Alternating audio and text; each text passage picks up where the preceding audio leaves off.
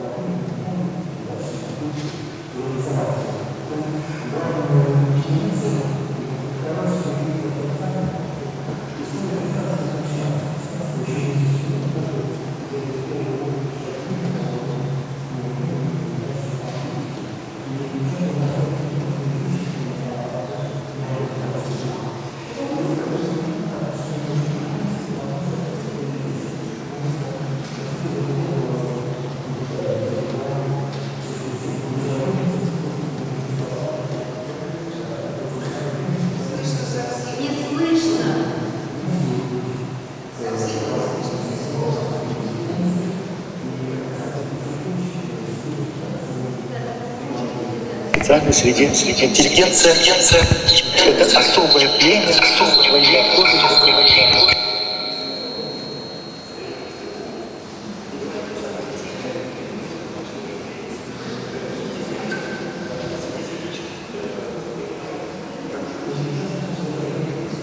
узкая среда, и которая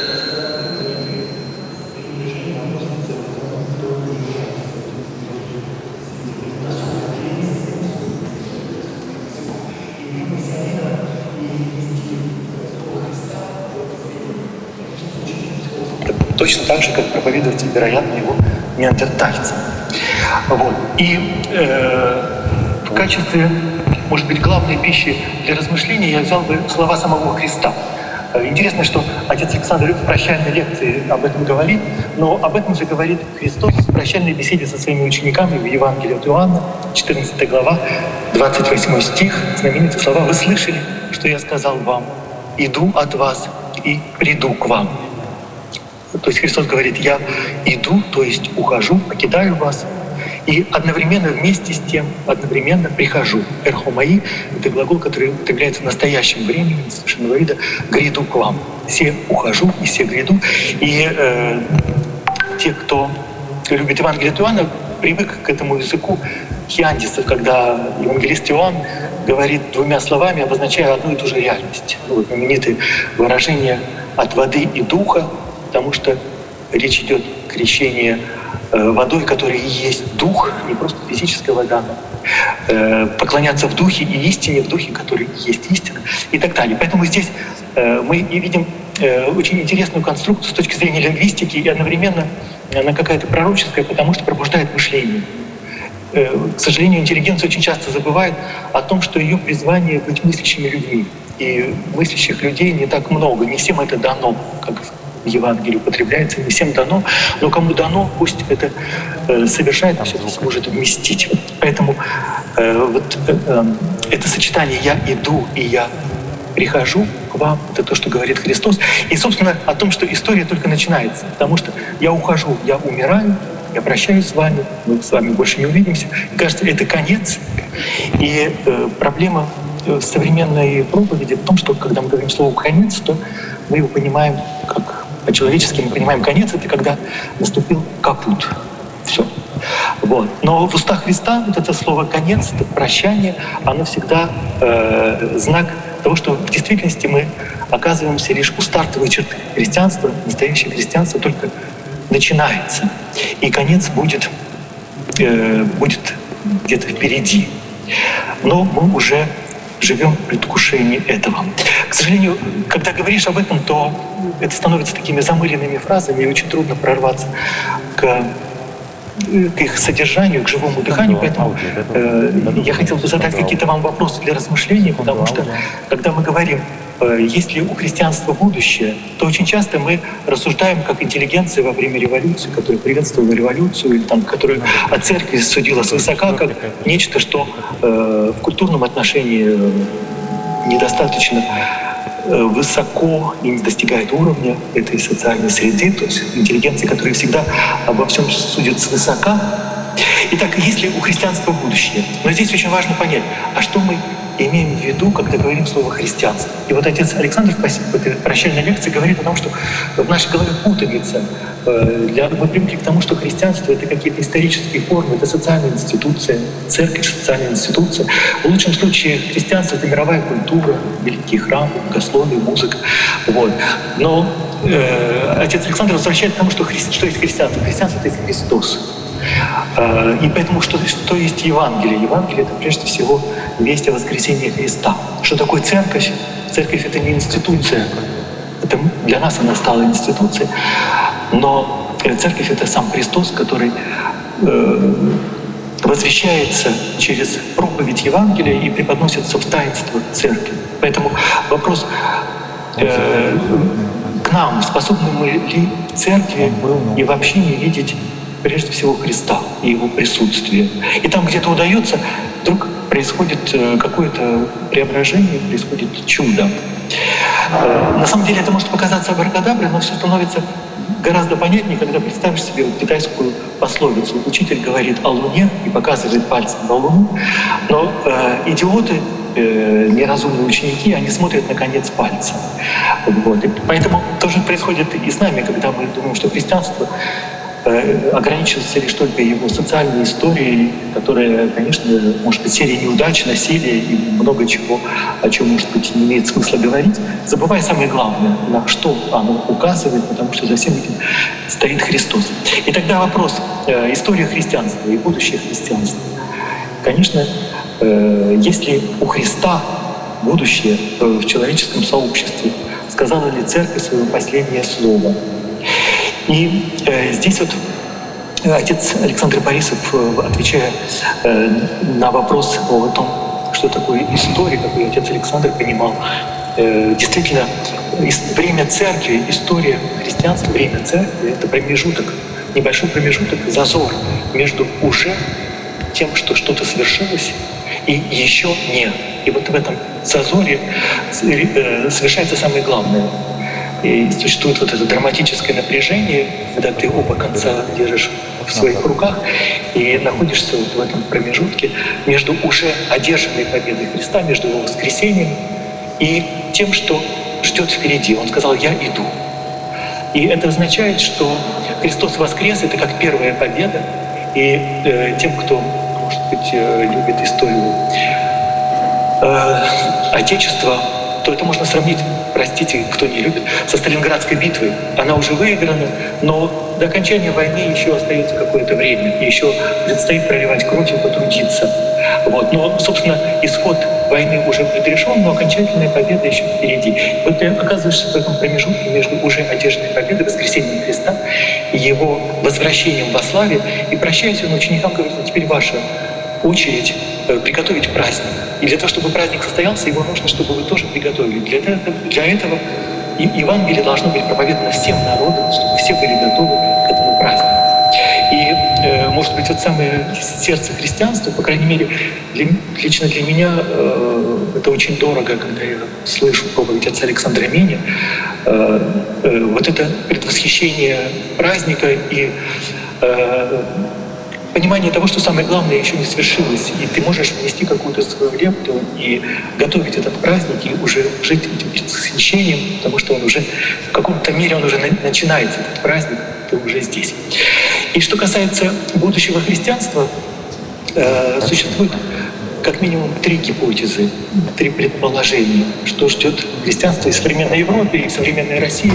Я бы делал какой-то жесткий водораздел между историей Европы и историей России, потому что, собственно, э, это единая история, и процессы, которые происходят в Европе, они происходят у нас, может быть, несколько иначе.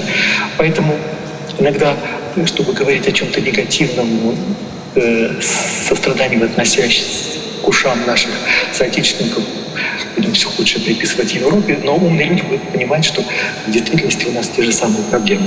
Первая гипотеза. Христианство исчезает. И вместе с ним исчезает Христос веры, потому что об этом начали говорить еще в XVIII веке. Это можно видеть невооруженным взглядом. Христианство уходит на периферию, маргинализуется. И совсем не потому, что есть какой-то воинствующий атеизм, который его вытесняет. Оно само уходит. Оно эвакуируется, вытесняется вот на эту периферию жизни, как будто выдыхается. Вторая гипотеза э, состоит в том, что христианство растворяется в каких-то достижениях прогрессе, любимое слово интеллигенции, прогресс. Э, по-моему, после 2014 года уже мыслящие люди мало кто всерьез говорит о прогрессе, э, потому что э, вопрос должен ставиться в каких-то других измерениях. Итак, происходит некая секуляризация, то есть христианство растворяется в завоеваниях современного общества. Такие великие евангельские новизна Евангелия, как уважение к человеческой личности, забота о бедных, о самых беспомощных, о тех, кто страдает. Сегодня о бедных заботятся и политики, и благотворительные фонды, и поэтому для очеловечивания этого мира как будто нет больше необходимости в христианстве. Оно остается на уровне этого уродливого выражения христианские ценности. Даже с точки зрения духовности сегодня рынок потребления заполнен мистической литературой, э, восточными учениями. И Христос, как учитель мудрости, который э, принес какое-то знание о Боге, он ранжируется среди других философов и великих учений религиозной истории человечества. То есть другая гипотеза предполагает, что христианство станет просто одним из разделов э, вот такой синкретической религиозной истории и дальнейшего развития человечества. Третья гипотеза э, очень активно продвигается в России о том, что можно что-то вернуть назад, э, колесо истории повернуть вспять и вернуть, вернуть прошлое, отвоевать утраченные позиции. Для этого есть, например, административный ресурс, э, можно заниматься реституцией, либо в формах консерватизма, либо адаптируясь к современной реальности. В данном случае э, лично для меня консерватизм или модернизм — это два полюса э, одной реальности, и как, как, как качели, ты качаешься в одной плоскости. Для того, чтобы найти выход, нужно выйти в какую-то другую плоскость. Ты не можешь все время качаться на тех же самых качелях. И таким образом вот эта третья гипотеза предполагает, что христианство может сохранить церковь как социальную институцию, православие как духовные скрепы, э, как нравственный авторитет и так далее. И, в принципе, это отчасти вроде бы где-то срабатывает, показывает свою эффективность, но я не думаю, что в долгосрочной перспективе это работает. И э, здесь возникает э, другой вопрос, который меня ведет вот к четвертой гипотезе, которую я хотел с вами э, обсудить или озвучить. Действительно ли христианство исчерпало свой ресурс? Потому что э, имеет смысл задуматься о том, что такое Евангелие. И в качестве пищи для размышлений представьте себе, что Евангелие — это не просто радостная весть, э, не просто чтобы кому-то поднять настроение, хихи-ха-ха, повеселиться. Э, само слово Евангелие, оно состоит вот из этой приставки «ев», которая не просто означает «благая» или «добрая весть», а э, в лингвистике некоторые лингвисты называют эйфоризантная приставка. То есть то же самое, что слово эйфория. Евангелие — это не просто какое-то приятное, приятное известие в новостной ленте, а это некая весть, сообщение, коммуникация, которая тебя приводит в состояние радости и какого-то измененного состояния, который, э, благодаря которому возможно некая метаморфоза, что-то может в твоей жизни измениться. И поэтому э, задумайтесь о том, что ведь слово Евангелие возникло до того, как появилась книжка под названием «Новый Завет». Апостол Павел употребляет слово «Евангелие» в совершенно другом значении. И мы легко забываем то, что для апостола Павла означало это слово для евангелиста Иоанна. Евангелие — это весть о воскресении. И это весть, которая, когда ее проповедуют, происходит чудо воскресает не только Христос, но воскресают слушатели. И поэтому, когда у апостола Павла спрашивали, а есть ли какие-то вещественные доказательства тому, о чем ты говоришь, что Христос воскрес, кто это может э, подтвердить, есть ли свидетели, есть ли доказательства. И на что он остроумно отвечает, «Э, вещественные доказательства, да, есть. Это моя община. Вот. И в этом смысле, конечно, за э, чудо прихода Косьмы Дамиана э, состоит в том, что отец Александр Мень ушел, но после него осталась община. Вот. И это какое-то вещественное доказательство о том, что Евангелие — это не просто книжка, это не просто э, абстрактные слова, вот. но это некая весть, которая изменяет судьбы людей. И более того, создает сообщество. И как раз новое человечество, о котором говорит христианское богословие.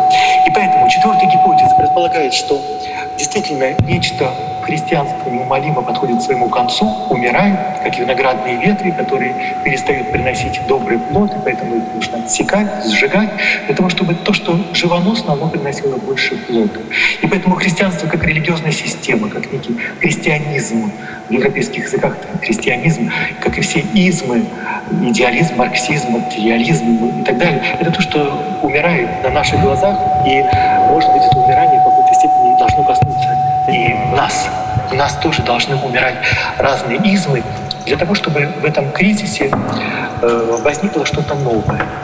И вот это слово «конец», которое в устах Христа означает совсем не то, что в наших устах не, не капут, не все кончено, а мы оказываемся у новой черты.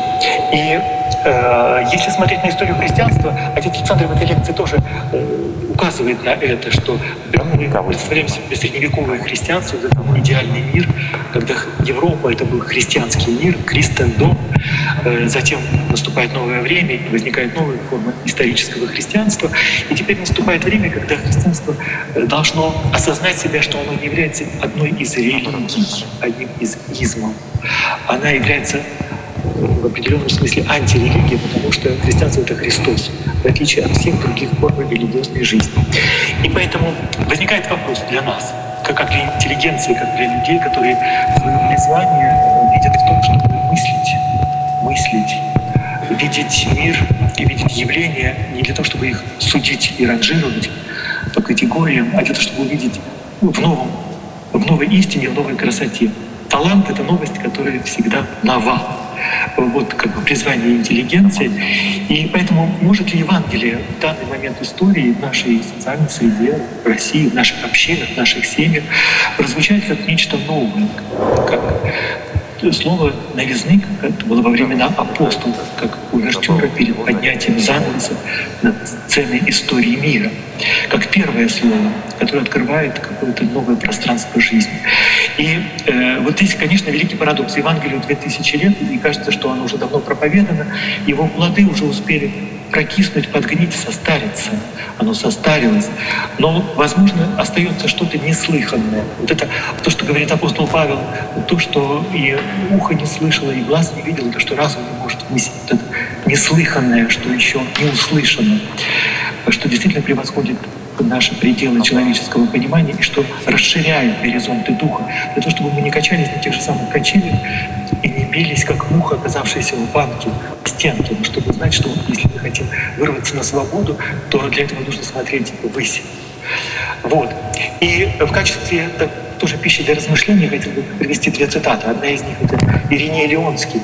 Он говорит о том, что Христос, когда пришел на землю, воплотился, Сын Божий принес с собой все новое. И для него э, категория этой неувидающей новизны христианства э, абсолютно фундаментальна. Когда он критикует гностиков, еретиков, и людей, которые немыслящие, он говорит, Христос всегда принес с собой все новое. И вот это, там, где есть эта новизна, она свидетельство о том, что действительно Христос где-то рядом. Иначе христианство легко превращается в субкультуру, как в принципе вот то, что говорит Сергей Сергеевич, интеллигенция — это племя, которое говорит на своем языке, со своим проблемами, оно вырождается легко в субкультуру. Вот. И если вспомнить о том, что само слово «интеллигенция» созвучно слову «intelligence», то есть разумение — в том числе и христианская вера, она нуждается в разумении, в рефлексии, в творческом осмыслении. Поэтому, конечно, церковь без интеллигенции не будет церковью, так же, как интеллигенция, замыкая в самом себе, просто вырождается в какую-то субкультуру. И, и э, Христос помогает э, реализовать себя на творчески, на, реализуя свое призвание в этом мире для интеллигенции. Другая цитата — это любимая цитата Хайдегера. Э, он любил э, в поэзии Гюнтерлина замечательную фразу «Человек живет в этом мире как человек, в том мире, в каком он поэт. Человек живет в этом мире поэтически». Слово «поэт» кто любит э, Библию, конечно, понимает, что речь идет о первых стихах книги «Бытия». Бог поэт, потому что он творец, и слово «творец» означает поэт. Вот. И поэтому христианин, если перефразировать, живет в этом мире как христианин поэтически, то есть творчески, сохраняя свою способность видеть мир в новом свете, в свете Христа, того, что есть новая истина и новая красота. Если мы оказываемся, как и большинство людей вокруг, просто пленниками тупых слов, пользуемся словами в их словарном значении, то это существенно ограничивает нашу свободу. И э, в отличие от таких средних статистов, поэт, он всегда создает язык. Поэтому поэзия обладает рациональностью, которая бесконечно превосходит научную, сциентистскую рациональность. И в этом смысле она очень близка к языку богослужения вообще к богословию. Итак, Евангелие э, — это самое драгоценное, что у нас есть, и это то, что мы знаем меньше всего. «Я ухожу» означает «я ухожу в смерть», и для учеников это лишение, и «я прихожу». Э, означает, что я с вами до скончания века, и наше призвание — это приготовить этот праздник. И э, возвращаясь просто к вопросу, э, за что так дорога Косьма и прекрасно это тем, что приезжая, например, на реколлекцию к вам или просто оказываясь в вашем приходе, ты видишь сообщество людей, где действительно двое или трое собираются во имя Христа, и там что-то меняется. И возникает то, что называется агапа в языке Иоанна, э, некая братская любовь, бережная и заботливая друг о друга. Это то, что со стороны э, видишь в Косьме, и это кажется самым драгоценным самым дорогим. Э, вот эта способность слышать друг друга и, главное, бережно, заботливо относиться друг к другу. Мне кажется, в этом одно из великих чудес вашего прихода и вашей общины. И я бы очень жалел, чтобы это как-то сохранялось, не погибло под суетой, стрессом столичной жизни. Вот. Но Христ, Евангелие представляет собой вот этот живой ресурс. Оно действительно не просто слово, которое что-то предписывает, требует, но это слово, которое дает, поэтому создает новую реальность. И в той мере, какой у вас есть евангельские группы, где действительно вы помните о том, что двое или трое собираются для того, чтобы Христос был между ними, то возникает вот это новое человечество. И, э, собственно, еще раз просто хочется признаться вам всем в любви и благодарности. И на этом я могу закончить. Спасибо.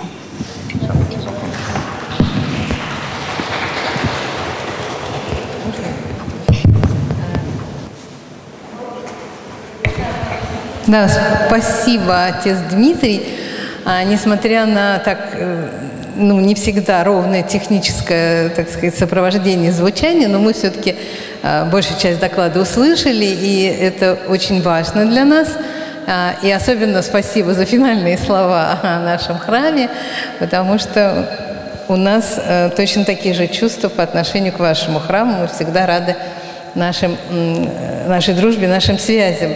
Вот. Но мне кажется, что действительно тема, которую вы подняли, она чрезвычайно важна, э, потому что очень часто христианство воспринимается как история, как что-то прошлое, как вот такое наследие, которое нужно вот хранить, оберегать там, и так далее, и так далее. Да?